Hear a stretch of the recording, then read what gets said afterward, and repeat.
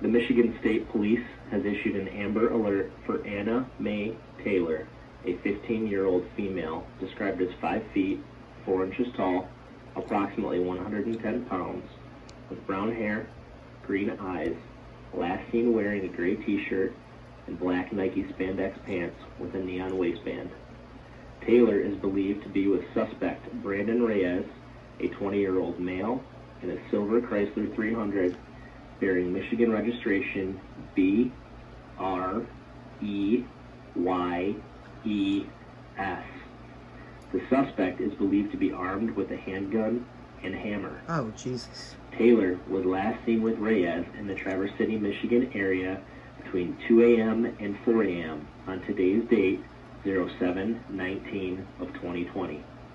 If located, call 911 or the Grand Traverse County Sheriff's Office at 231-922-4550.